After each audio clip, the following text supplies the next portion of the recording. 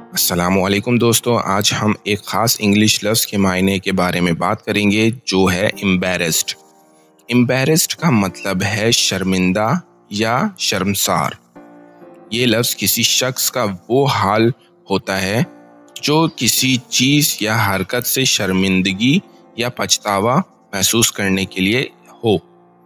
मिसाल के तौर पर, अगर कोई शख्स किसी पार्टी में गिर जाए और सब लोग उसे देख लें तो वो शख्स एम्बेरस्ड महसूस करेगा।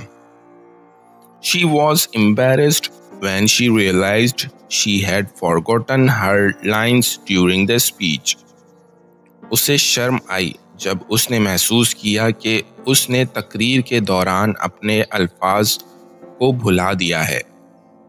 तो दोस्तों, ये था एम्बेरस्ड लफ्ज़ का मतलब और इस्तेमाल। उम्मीद है अब आपको समझ में आ गया होगा। मिलते हैं नेक्स्ट वीडियो में। शुक्रिया।